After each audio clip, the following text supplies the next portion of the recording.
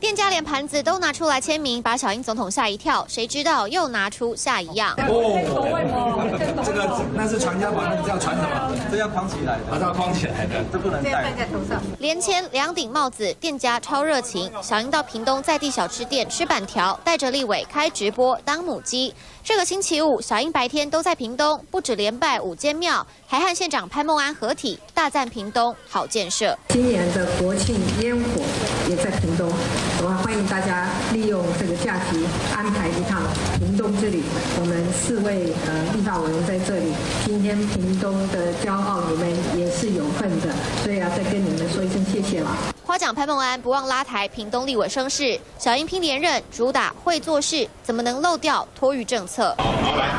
亲自采访幼儿园，紧盯政策有没有落实。除了正鸡排，小英也一再强调护主权，却被韩国瑜拿来嘲讽。守护主权，这是诈骗行为。他讲这些有公信力吗？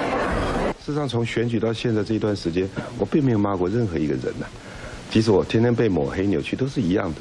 我觉得我一直坚持着民主的价值，还有爱与包容，从来也没有骂过任何人。我想蔡英文总统应该好好思考一下。他不是刚刚才骂